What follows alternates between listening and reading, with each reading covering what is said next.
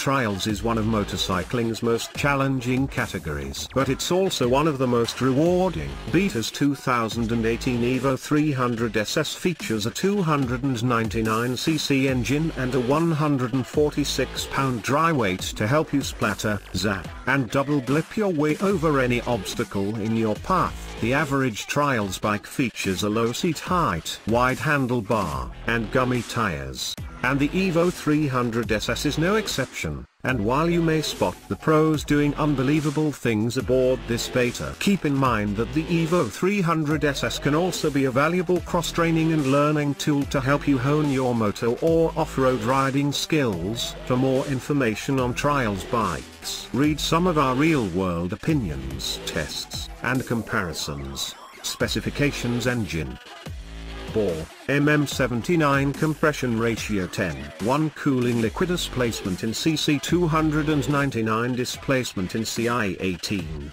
2 engine type single cylinder starter kickstroke 60, 5 valve configuration reed valve,